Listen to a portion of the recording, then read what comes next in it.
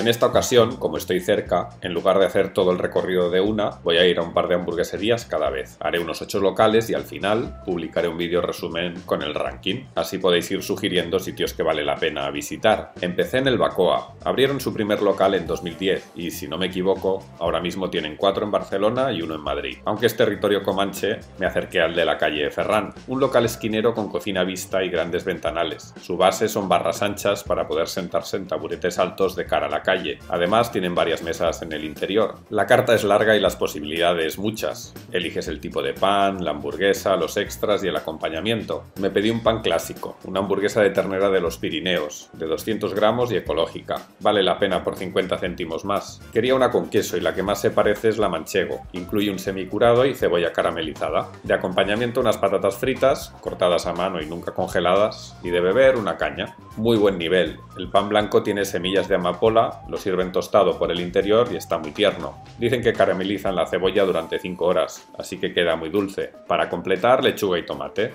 La hamburguesa tiene un grosor cómodo para poder dar un bocado completo. Estaba en su punto, con las típicas marcas de la parrilla, bien tierna y sabrosa. Las patatas fritas están cortadas finas, bien fritas, crujientes y poco aceitosas, un pelín saladas para mi gusto. Tienen ketchup y una salsa picante muy curiosa, por todo pagué 12.20.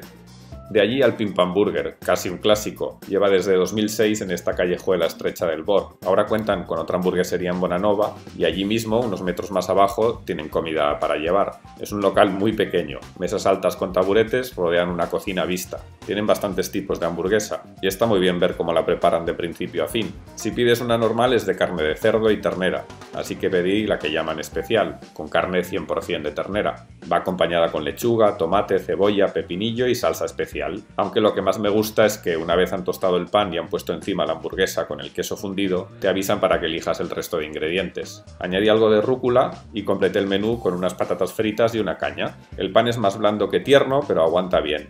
La especial son 200 gramos de hamburguesa, así que es bastante grande y se maneja con dificultad. No me preguntaron por el punto de la carne, para mi gusto algo pasada, pero era tan sencillo como pedirlo. Las patatas muy abundantes y eso que la ración era pequeña, algo más gruesas y con su punto crujiente fritas al momento, claro. Por todo pagué 10,95. Seguiremos buscando, a ver si os animáis con las sugerencias.